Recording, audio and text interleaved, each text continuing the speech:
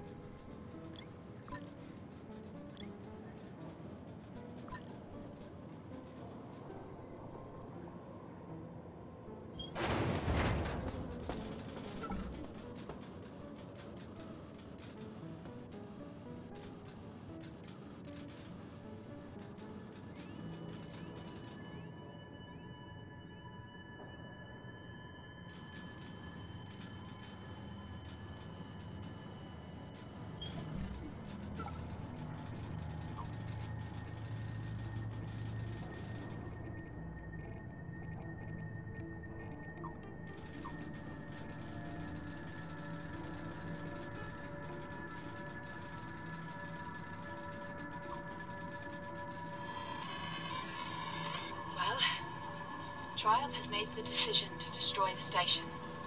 You'll need to carry it out. To activate the self-destruct, you'll need to get the system authorization code.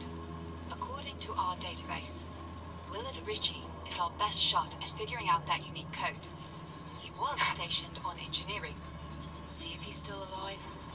Once you have the code, head to the reactor core. Get some advanced radiation protection, or, at the least, a hell of a lot of detox. Enter the code inside the reactor core, throw the switch, and the destruct signal from Earth will start the countdown. Get to the flight deck and use the code 001 to open the life pods in one of the flight bays. I'll see you outside in a few months.